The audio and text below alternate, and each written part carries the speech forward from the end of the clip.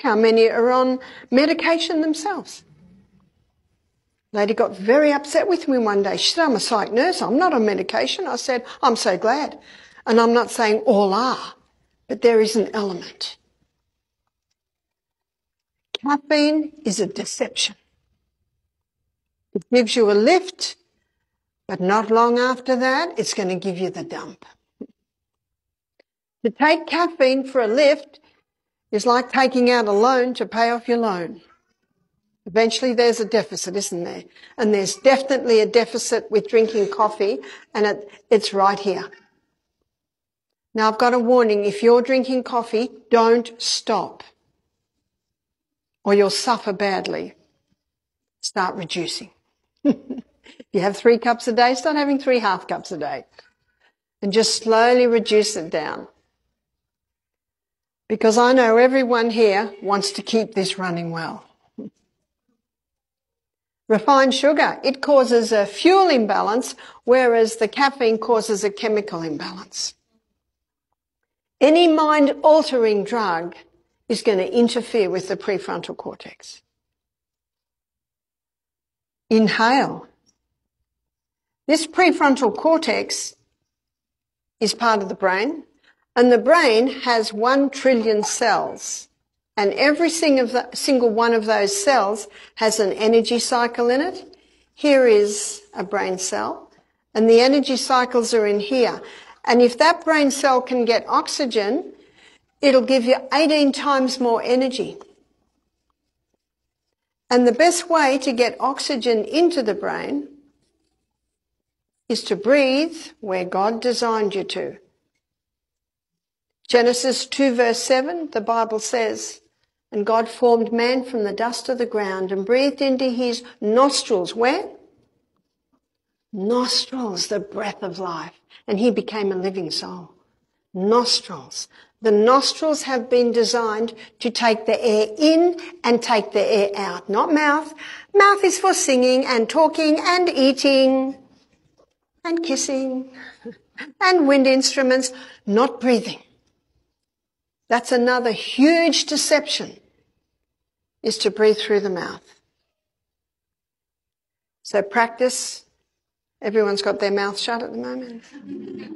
practice nose breathing. This is the uh, nerve cell. Our nerve cell, which is our brain, is made up of one trillion of these.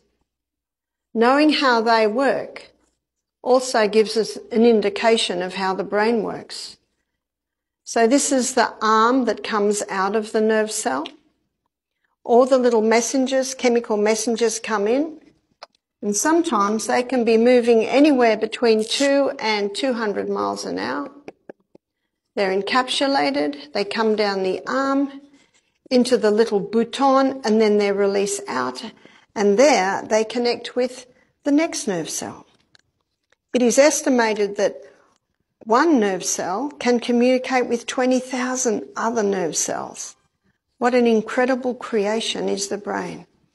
And what a huge deception of the enemy to deceive people into doing things that little by little break this brain down. So make sure you're inhaling and exhaling through your nose. Nose purifies the air, nose humidifies the air, nose warms the air, nose balances the blood gases, nose pressurizes the air. Mouth does not do any of that.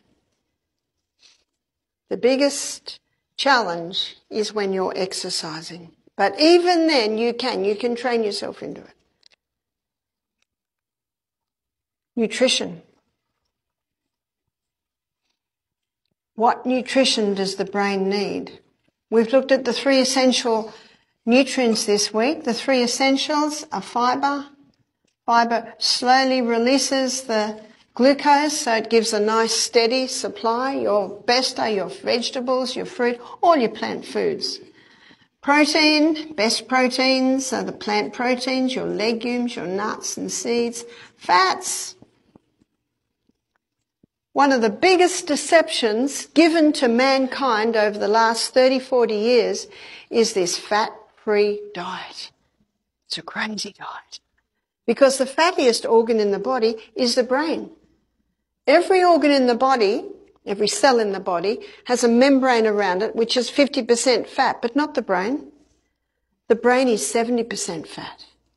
And that other 30% comes from this little fatty sheath that surrounds the nerve cell. And that fatty sheath is a myelin sheath. It conducts the messages through, it insulates, it protects, and it nourishes the nerve cell.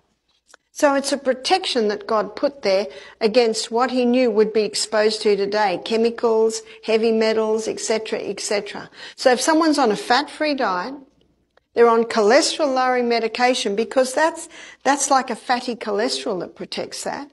So let's say they're on a fat-free diet, cholesterol lowering medication, and they're eating tuna three times a day because they want to put on muscle, and tuna is well known to have mercury in it. And they've got mercury fillings in their mouth. There's no protection.